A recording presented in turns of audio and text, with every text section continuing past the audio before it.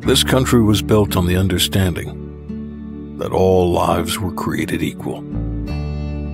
That's why we need to come together. This year, vote. Because it always counts. They were always there for you. And now, you're there for them. But healthcare costs are unfair. In his home state, Mike helped expand health insurance to over 700,000 more people. As president, he'll ban surprise medical bills and help lower drug costs. For a better tomorrow, vote for Mike. If you have to lie to get yourself out of every situation, you're not an adult. You're a child.